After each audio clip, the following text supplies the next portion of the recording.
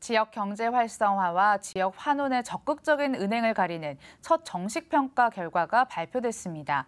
상위 등급을 받은 은행들은 지방자치단체 금고은행 선점 과정에서 가점을 부여받게 되는데요.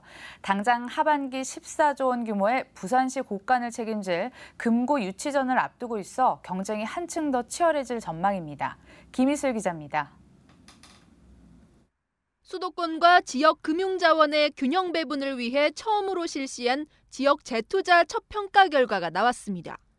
금융당국이 발표한 2020년 지역 재투자 평가 결과 종합적으로 최우수 등급을 기록한 시중은행은 농협은행과 기업은행이었습니다. 지방은행 중에서는 전북은행이, 저축은행 중에서는 한국투자저축은행이 높은 점수를 받았습니다.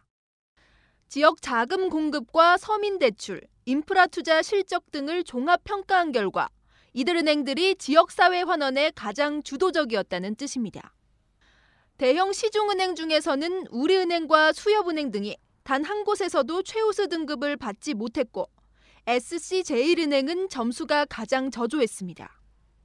특히 이번 지역 재투자 결과가 관심을 모은 건 서울시에 이어 규모가 큰 부산 시금고 선정을 앞두고 있어서입니다. 금융위는 이번 평가 결과를 지방자치단체 금고 선정 시 반영하는데 부산은 자체 평가와 함께 지역 재투자 결과를 총평가의 7% 반영할 예정입니다.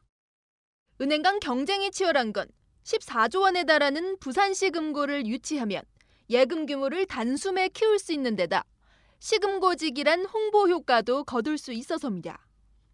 현재 부산시 주금고는 BNK 부산은행이 20년 이상 지켜왔고 부금고는 KB국민은행이 맡고 있습니다. 올해부터는 주금고와 부금고 복수 지원이 가능해져 국민은행이 주금고에 참여할 수 있게 됐고 농협은행을 비롯한 주요 시중은행들도 도전장을 내밀 것으로 관측됩니다. 특히 유력 후보인 국민과 농협, 부산은행이 모두 부산 지역에서 최우수 평가를 받아 치열한 접전을 예고하고 있습니다.